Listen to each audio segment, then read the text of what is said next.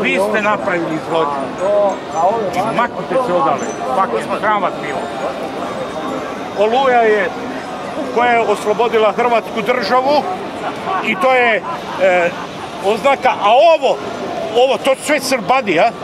Ako im nije dobra Hrvatska, nek se makneju, nek ideju na bolje mjesto. And fuck. Kada to vidim, odmah mi se gadi. To stavite na televiziji, neka vide i e, ovaj naša vlada, oni ne rade kako treba. Sram mi bilo da to dozvoljavaju ovdje. Fucking shit. Ako on živi ovdje, treba da poštuje taj zakon i da treba da voli e, Hrvatsku državu. I ništa više.